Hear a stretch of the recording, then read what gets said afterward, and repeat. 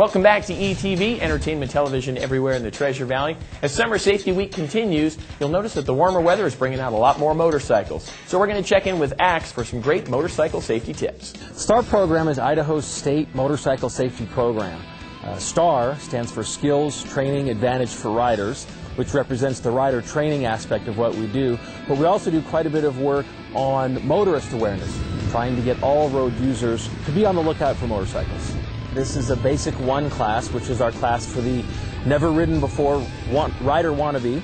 Uh, it's two and a half days. We also have a basic two class, which is for a rider maybe who knows how to ride in the dirt but wants to get ready for riding on the street. They know the basics but want to learn street skills. We have an experienced course for veteran street riders. Uh, all three of those courses include a license test waiver with ITD, so if you pass our class, you don't have to take the state's skills test.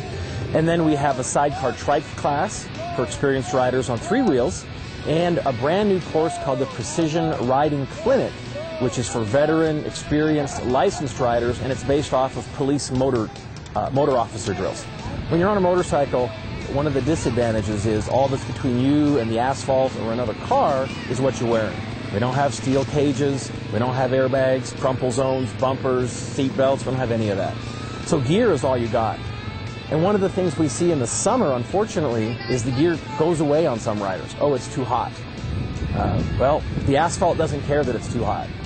Uh, so there is gear that is weather appropriate. In the winter, you can have heated gear, you can have uh, quilted gear, and in the summer, vented gear. This whole jacket and pants together, uh, fully vented. So as I ride, I get airflow coming through the gear so I stay cool, but I still have the abrasion resistance and the armor in the elbows, shoulders, knees, hips, so that if something does happen, uh, I stand the best chance of walking away.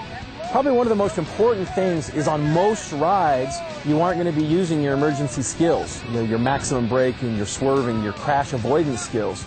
So it's important to go out and practice them on purpose because you don't know what day or what ride you're going to need those skills, and you want the skills to be sharp. You can find the STAR program online at www.idahostar.org, or you can call us toll free at 888 280 7827. Let's all share the road and ride smart.